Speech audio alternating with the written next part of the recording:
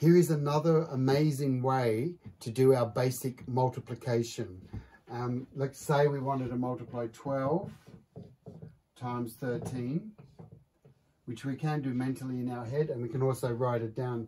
But apparently, um, according to the sources that I've studied, this is an ancient Chinese method, and we need to give it a name because I'm just going to use bars or strokes.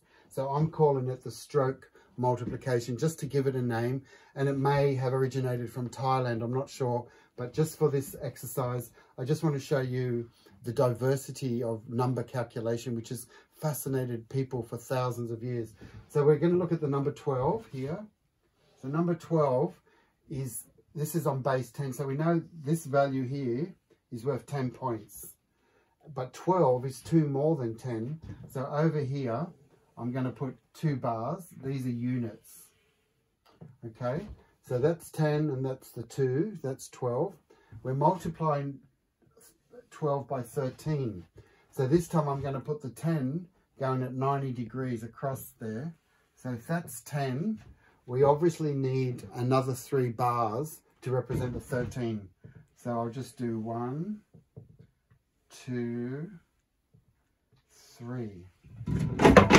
Um, okay, so what I'm going to do now is that what we're looking at is the intersection points. The point, the interstices, or the points of intersection can be separated into three sections. So I'm going to put a curve here and a curve here. And what does that tell us? I'm going to highlight, say here, we have, I'm going to put a circle. There's one point, so that's one. We'll call that 100. That's one in the middle here, how many intersections do we have between the two arcs? I'll just put circles around them. There's one, two, three, four, five. So I'm going to put a forward slash and the number five. So that's 50. And for the units, these are the unit points here. We've got one, two, three, four, five, 6. So the answer is 156. I think that's not just a mathematical curiosity. I find that actually genius. It's brilliant. So let's just do one more because this one was a simple one without without a carryover. So I'd like to do another one that involves a carryover. So let's try one more, just a bit bigger. We'll still use we'll still use 12 again. We'll use 12 times the 34. So we've already done the 12 here. So how do we do 12? We do a vertical bar of 10 with two units. One, two. Now, obviously, when we do the 34, we're going to need three bars of 10. So to do the 30, we need to do three bars of 10. One, that's 10, 20, 30.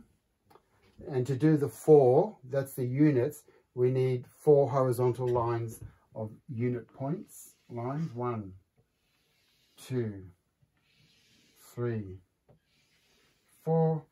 And this time we need to separate the hundreds, the hundreds from the tens, from the units. So I put in my two arcs, it's one arc, and there's another arc, and that separates the information into three categories.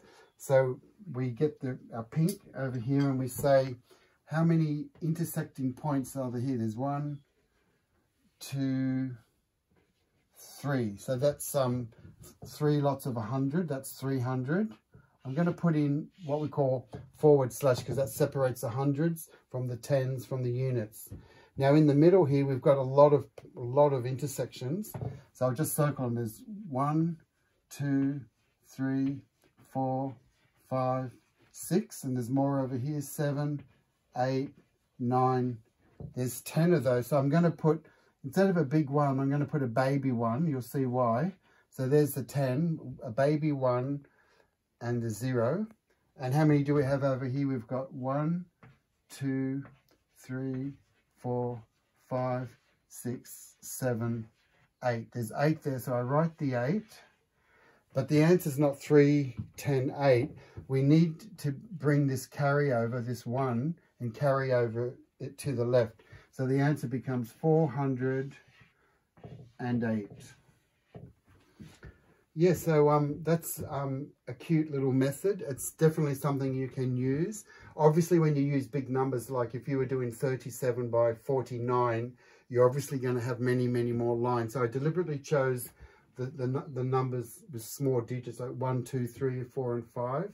So um, practice some of this at home just to know that mathematics is fun, it's beautiful, and it's also multiculturally diverse.